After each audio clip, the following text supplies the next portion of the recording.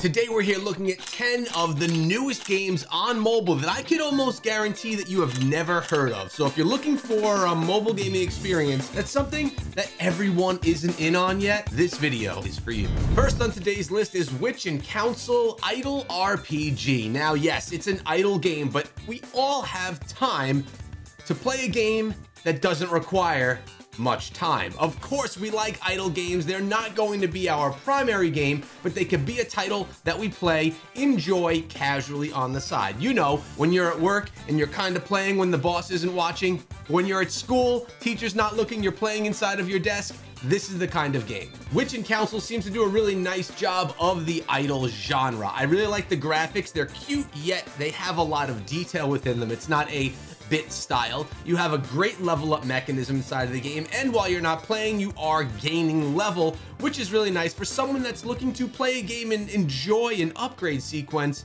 without actually having to spend too much time inside of the game. Next up, we have Unreal Hunter, and this is a game that you've definitely never heard of before. It is still on its way to being translated into English, and it is a very fun looking game. There's a lot of action inside of this one and the graphic style is very good. Gives me a reminder of Shadowgun Legends or even Borderlands on console.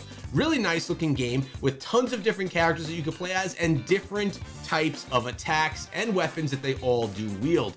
It's a fun type of game utilizing both melee and ranged units, and it's something that you can kind of dive into in a game that feels like an action RPG or an MMO RPG, but it definitely does have its own twist. Now, as I mentioned, it is not over into English just yet, but that will come with time. Doesn't mean you can't get involved and play right now, because like I said, this one is available on TapTap if that's your thing. If it's not and you're a Play Store kind of person, then this may be one that you ignore. But if you want some of those hidden gems, sometimes you gotta dig a little bit deeper and dive into TapTap. This one looks like a lot of fun, and I really do dig the graphics. Next up is Mini World Creator, and although this game is not new, I can almost guarantee that you've never heard of this one. You know why? Because I had to search high and low to find this one. It was something that was very well hidden, and it is a creating style game where you're going to be building in a sandbox style game and uh, enjoying your time. Now, I do like sandbox games on mobile. It's something that we don't have a lot of. There's not a large number of games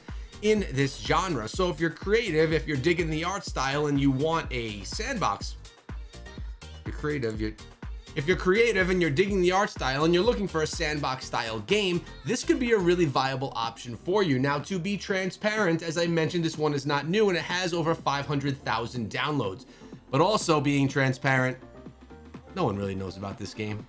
I don't know how so many people downloaded it so maybe you'll enjoy it. And it does have a community of players that already seems to be established, apparently. Next up, we have King of Kings, which is a newer kingdom builder that's out in the mobile space right now. Now, I have to be transparent here as well. This is a decent kingdom builder, but there are better options out right now for those of you that are looking. But if this is something that you're vibing with, if you really like the look of it, or if you're looking to dive into a kingdom builder that has a much smaller community, this may be one that you're interested in. But for me, I prefer to play Call of Dragons, which is also just launched three weeks ago globally.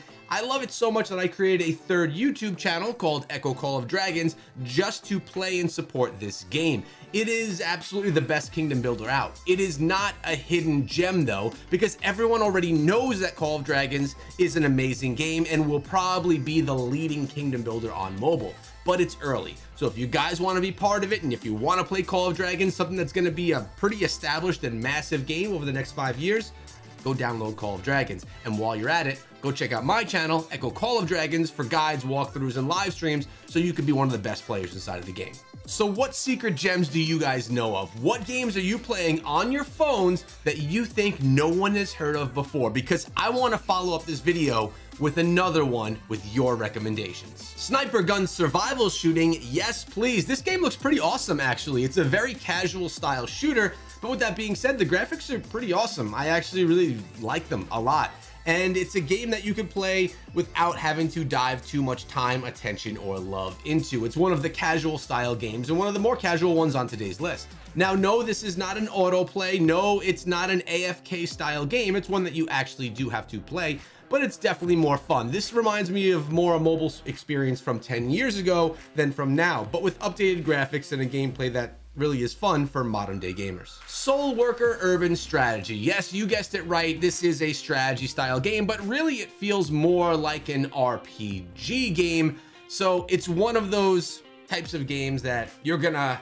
be collecting in. It's one of those types of games that you're going to be battling against your opponents in. And as you can see from the gameplay right here, it kind of tells you right away what kind of game you're getting yourself into. Yeah, and that type of game is a turn-based RPG, also categorizes a RPG and also categorizes a strategy style game. This is one that is much smaller. A very small number of people have found out about it and downloaded it so far, so you could be one of the first, which means you could be one of the best. Doesn't that sound cool? And next we have Infinite Hero, which is a simulation style game, which reminds me of a mixture of Zelda and Mega Man based on the graphic style. It brings me back to games of Nintendo from days of old. And this one looks really cool. I like the colors. I like the graphics if I'm in the mood for graphics that are pixelated like these right here. I think that they do the style very well. The game's also very fast, very action-packed, and very fun. So I'll ask you right now, are you a type of person that likes those pixelated graphics, old school retro style games? I'm just curious, genuinely want to know if you guys like that. Uh, I personally don't as a primary game, but I do enjoy it in games that I kind of have on the side and just play casually for fun. Next up is Legendary Master Idle, another idle style RPG game that has turn-based elements to it as well.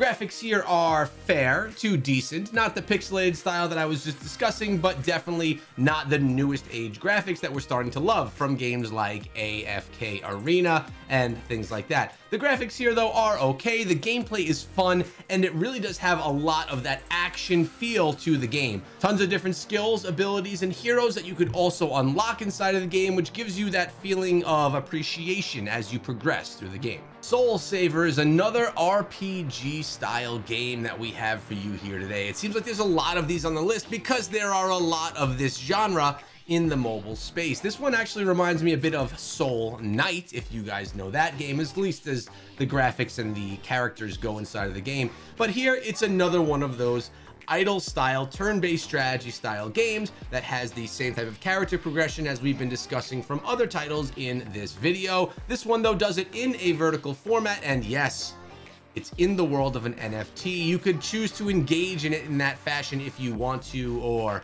if you don't want to. It all depends on how you feel with NFTs. Next up is Monsterland 2D MMO RPG, another vertical style game, obviously in 2D graphics, and it is a massive multiplayer online game.